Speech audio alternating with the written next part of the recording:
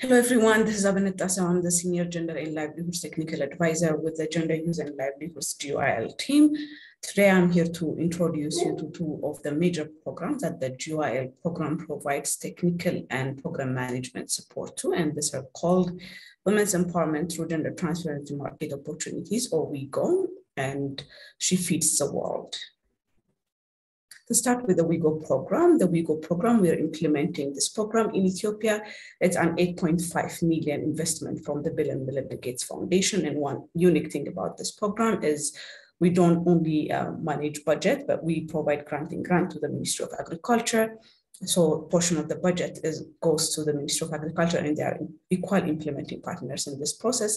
Um, the overall purpose of this program uh, is really interesting. It's to provide system strengthening support to the ministry to implement its gender equality strategy in the agriculture sector, um, which we believe would result in gains for small-scale women producers. So basically, um, the goal of this program is increased women's empowerment in agriculture through gender transformative market investment. And we have two interrelated primary outcomes. The first one relates to system strengthening of selected units within the ministry and also to regional agricultural bureaus. And the second one relates to seeing the gains of strengthened systems um, through increased income for women farmers. We have identified horticulture as a main the main entry point um, for us to engage selected farmers um, on. And also we're going to promote diversification, livelihood diversification opportunities, including um, in livestock. So the whole idea is making sure that the ministry implements its gender equality strategy, but we're going to um, evaluate success of this program by going beyond whether or if the ministry implements its gender equality strategy or not. We believe if the ministry is supported and implements its gender equality strategy, the results should be reflected in gains for uh, women small-scale producers.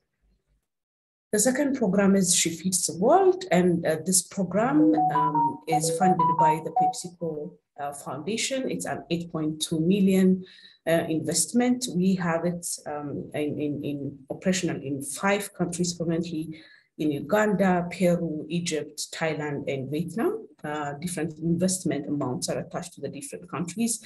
2 million in Uganda, uh, 3.5 million in, in uh, Peru, 3.7 in Egypt, uh, 1 million in Thailand, and 1.1 million in, in Vietnam. And um, this, this She Feeds the World as a framework is supposed to contribute or help us contribute to the CARE's Vision 2030 on right to food, water, and nutrition impact uh, area goal for 75 million people, uh, focusing on women and girls, of course, to increase the fulfillment of their rights to food, water, nutrition, um, in, in sustainable, productive, and equitable, and also nutrition sensitive and resilient food systems we have um, six interrelated change areas and she feeds the world. And as you can see, women's empowerment is at the heart of everything that we do. So women's empowerment to make sure that they have access to and control over productive resources and access to inclusive markets, good nutrition in the household, in, in the community, and provision of social protection support to those who are really in need, and multiplying the impact of She the World through uh, different channels or different platforms, including advocacy, influencing, partnership and platforms, innovation and research and evidence and learning. I hope that gives you a little bit of overview on um, what we do the, in, uh, through these two major programs. If you have any questions, please come to me anytime you want. Thank you.